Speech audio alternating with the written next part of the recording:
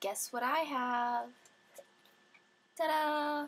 Voices of Angels, an anthology. Guess what's in this book? Do you know? Do you know what's in this book? If you read my blog, I guess a year ago, you would know what's in this book. One of my short stories. I am on page 23.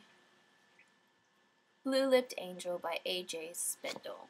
I'll read you the first couple lines. Her lips are blue. I want to reach out and touch her, but I know if I do, I won't like what I feel. Her body will be cold and lifeless. I sit back against the cave wall. There's nothing I can do for her now. It won't be long before I join her, wherever that may be. My breath comes out in white puffs of smoke, and all I can hear is the harshness of the wind. I wish I didn't have to die alone. I wish I didn't have to die at all, actually. Yet here I sit, wishing my last moments away. Now you really need to buy the book so you know what happens next. You really need to look for this. I will put a link to where you can buy it from Barnes & Noble or Amazon. Um, there's somewhere else. There's somewhere else you can buy it too, but I, I forget. Uh, the back looks like this. So there are 17 stories in this book, so it's not just me.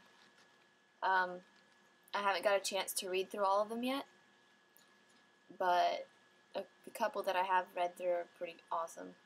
All of these stories are dedicated to an angel in someone's life. My dedication is to my great aunt Sandy, who was an awesome person that passed away this last year in April, right before my birthday. One euro from the sale of each copy plus a percentage of the author royalties will be donated to the Gloria Hunniford's Cancer Charity, the Caron Keating Foundation, set up in her daughter's memory. So there you go. So if you buy the book, not only will you make me happy, you will be donating money to a charity. You can even get Voices of Angel on the Kindle.